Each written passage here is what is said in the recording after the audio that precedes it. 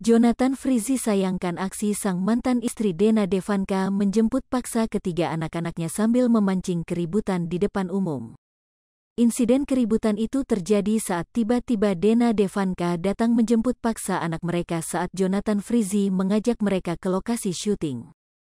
Hingga memantik kehebohan di lokasi syuting sinetron Jonathan Frizi. Demikian yang dituturkan Jonathan Frizi saat tampil pada program Brownies Trans TV, Kamis, tanggal 28 Juli tahun 2022, siang. Mulanya, dia mengakui makin sulit bertemu dengan ketiga anak-anaknya.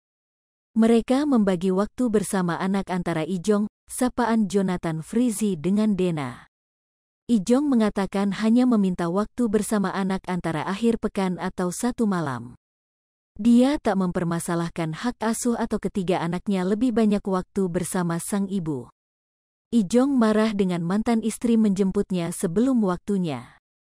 Selain itu menurut Ijong, Dena tiba-tiba berubah pikiran untuk berakhir pekan bersama ketiga anak mereka. Harusnya waktu aku sama anak-anak Jumat, Sabtu, Minggu, Minggu aku balikin. Harusnya jemput sekolah tuh Jumat siang, karena Dena berubah pikiran weekend mau sama anak-anak, berubahlah semuanya, beber Ijong. Ijong sempat menegosiasikan waktu memulangkan ketiga anaknya kepada Dena. Namun Dena berkeras sang mantan suami harus mengantarkan ketiga anak mereka di luar kesepakatan. Jumat maghrib aku jemput, Dena maunya aku pulangin Sabtu pagi, aku cuman tidur sama anak-anak terus langsung dijemput dong. Kangennya mana? Lanjutnya. Namun Ijong menuruti permintaan Dena yang justru ditolak.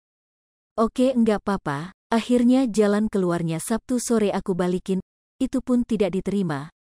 Masalah makin meruncing saat Dena mempermasalahkan Ijong membawa ketiga anak mereka ke lokasi syuting. Makanya akhirnya dijemput waktu ke lokasi syuting, dimasalahin, kenapa anak-anak dibawa ke lokasi syuting, sambungnya. Padahal, Jonathan Frizi menuturkan ketiga anaknya S. Angat senang saat diajak ke lokasi syuting. Dia juga ingin menunjukkan bagaimana sang ayah bekerja kepada ketiga anaknya. Loh, aku papanyaku di bidang entertain aktor kerjanya seperti itu biar anak-anak lihat, jawab Ijong saat ditanya Dena perihal alasan ketiga anak mereka dibawa ke lokasi syuting. Selain itu dia membeberkan mantan istrinya juga sering membawa ketiga anak mereka ke tempat syuting. Toh juga Dena sering banget ngajak syuting anak-anak hampir puluhan tuh built-in built-in segala macam jadi maksudnya fair-fair aja ku sih sebenarnya nggak mau ribut ya anak-anak seneng banget waktu itu, imbuhnya. Ketika itu Jonathan merasa kasihan sedih dan marah dengan tindakan Dena menjemput paksa ketiga anak mereka.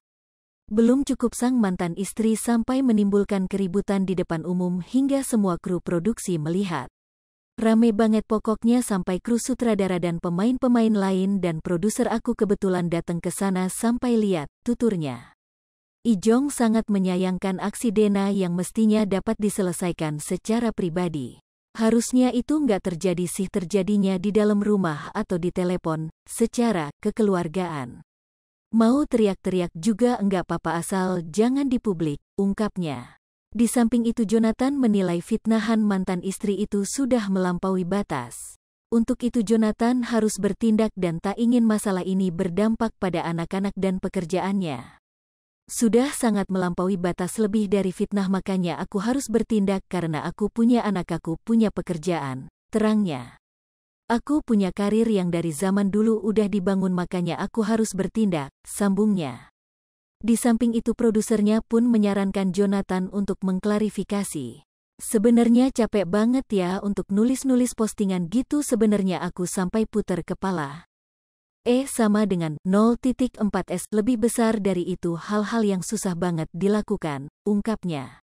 Selain itu, Jonathan sangat marah dengan Dena lantaran postingannya yang menunjukkan dirinya seolah menelantarkan anak-anak. Pada saat itu yang disayangkan banget, Akunya sangat sedih, sangat marah. Dena posting anak-anak capek banget dibawa ke lokasi syuting, anak-anak katanya panas nggak dikasih makan, ujarnya. Jonathan pun merasa mustahil melakukan seperti tuduhan mantan istri. Mungkin enggak ya, mungkin enggak aku enggak kasih makan anak-anak. Mungkin enggak aku menelantarkan anak-anak.